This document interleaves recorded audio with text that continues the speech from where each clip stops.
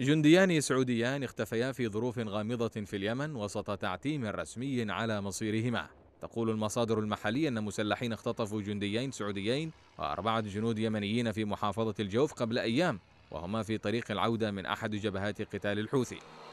يطالب الخاطفون حسب مصادر محلية مقابل الإفراج عن الجنود السعوديين واليمنيين أن تفرج السلطات عن معتقلين متهمين بتقطع وتهريب ممنوعات في سجون مأرب تأتي عملية الاختطاف بعد محاولة المسلحين مقاومة الحملة العسكرية التي أطلقتها المنطقة العسكرية السادسة ضد التقطع.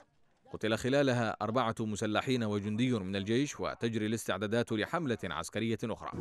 في الوقت الذي ذهبت بعض وسائل الإعلام لاتهام قبيلة بني نوف بأنها تقف خلف حادثة الاختطاف إلا أن القبيلة أدانت في بيان التقطعات والاختطافات التي قامت بها عناصر تخريبية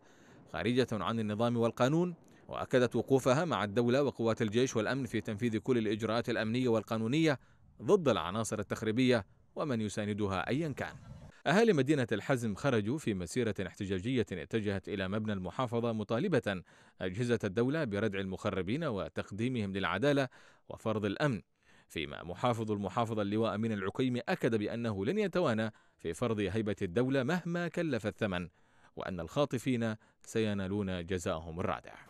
توتر وتصعيد في الجوف التي تشهد حربا مفتوحة لأكثر من ثلاث سنوات مع الحوثيين وتعيش اليوم أزمات أمنية